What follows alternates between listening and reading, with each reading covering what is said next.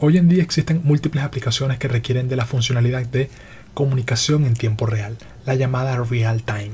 Aplicaciones de mensajería como chat, es imprescindible este tipo de funcionalidades para tener a los clientes conectados, siempre conectados, y estos pueden enviar y recibir mensajes. Claro está que esta funcionalidad de real time la podemos implementar en un servidor común y corriente, es decir, en los servidores con los cuales hemos venido trabajando hasta este punto, empleando tecnologías como Ajax. Pero obviamente estar cada rato enviando peticiones a nuestro servidor para saber el estado es extremadamente ineficiente. Para estos casos existe un mecanismo basado en WebSocket que nos permite implementar esta característica de real time de manera eficiente en Django. Y para esto en Django tenemos que emplear lo que se conoce como Django Channels, que a través de una capa de canales podemos implementar nuestros WebSocket en nuestra aplicación. Para esto lo primero que tenemos que hacer, lo fundamental sería cambiar el servidor que tenemos por defecto que viene siendo de tipo WSGI. Un poco más adelante te voy a seguir hablando sobre este tipo de servidor. A un servidor de tipo ASGI, que también te voy a hablar un poco más, un poco más adelante sobre este tipo de servidor. Básicamente recordemos que el WSGI, como te venía comentando, es el servidor que tenemos por defecto. Y el servidor de tipo ASGI nos provee un paquete que nosotros podemos instalar perfectamente en Django llamado Django Channels. Como te comentaba, el servidor que tenemos por defecto y el que nos provee o el que nosotros empleamos al momento de hacer deploy o publicar nuestras aplicaciones, generalmente viene siendo de tipo WSGI, que es la definición que toman los servidores web cuando estamos desarrollando en Django, básicamente en Python web. En otras palabras, los WSGI vienen siendo para Python web lo que es Apache para PHP. Así de simple. WSGI viene de las siglas de Web Server Gateway Interface, que son servidores de tipo síncronos. Por lo tanto, no podemos implementar funcionalidades de tipo real time, al menos de manera eficiente. Mientras tanto, los servidores WSGI en Python, al igual que ocurre con Apache, son empleados para manejar peticiones HTTP, así nomás. Trabajan de manera síncronas con nuestras peticiones y los mismos no pueden trabajar de manera asíncrona. Para estos casos necesitamos otro tipo de servidor llamados ASGI. Como hablamos anteriormente, los WSGI son los servidores estándar para desarrollar en Python, en Python Web. Sin embargo, para desarrollar nuestras aplicaciones asíncronas en Django, necesitamos un servidor de tipo ASGI, que es lo que te venía mencionando hasta este punto, que nos permite manejar el esquema tradicional de peticiones HTTP y también WebSocket, es decir, comunicaciones asíncronas mediante una capa de canales o channels.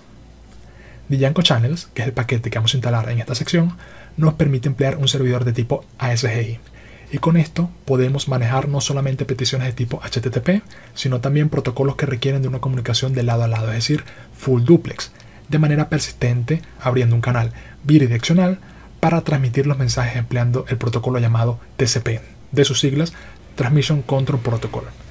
De tal manera que esta comunicación full duplex nos permite conectarnos entre nuestro cliente y nuestro servidor de manera persistente, sin necesidad de estar preguntando cada rato mediante Ajax el estado de la conexión. Ahora bien, vamos a empezar a trabajar un poco con esta imagen. Cuando una petición HTTP es enviada en el esquema WSGI, que recuerda son de las siglas de Web Server Gateway Interface, un cliente, mediante su navegador, envía dicha petición a nuestro servidor web, que viene siendo básicamente esta pequeña flecha que aparece por acá. Aquí nosotros estamos enviando una petición a nuestro servidor web, entiéndase que por acá se encuentra nuestro Django.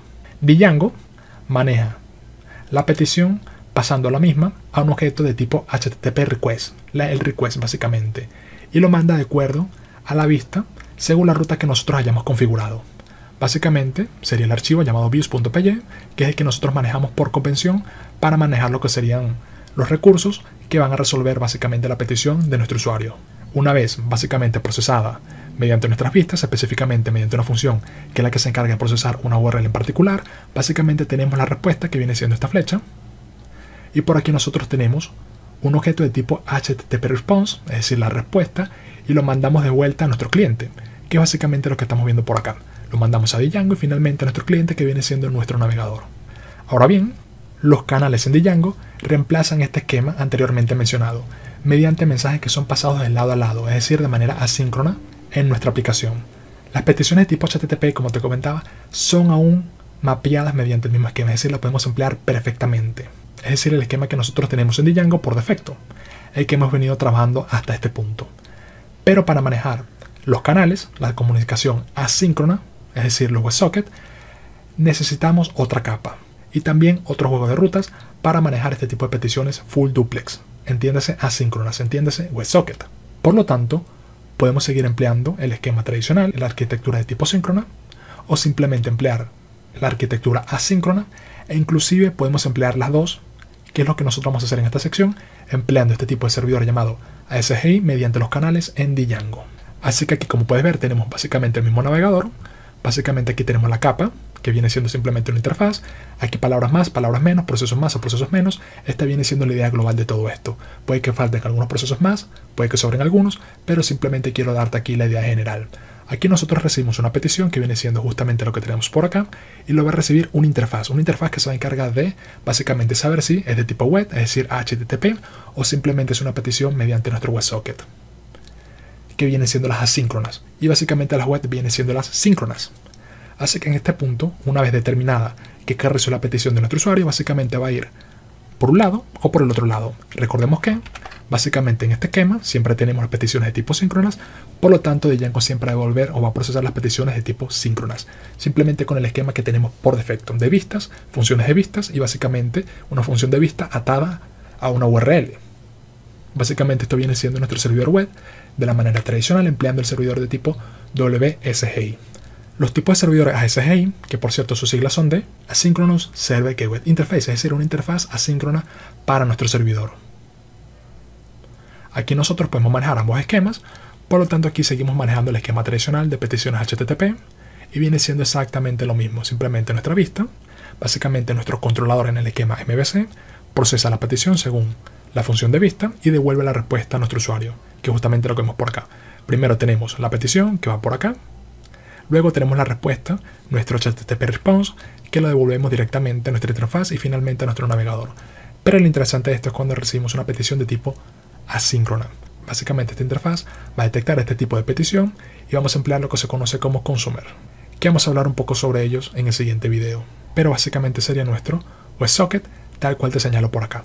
Básicamente sería un esquema similar en el cual tenemos un grupo de URLs, un grupo de rutas asignadas a unos consumer en particulares y esto se encarga de básicamente resolver alguna petición de nuestro usuario.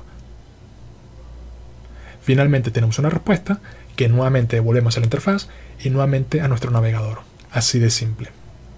Básicamente todo esto que tenemos por acá viene siendo lo que se conoce como Worker Process.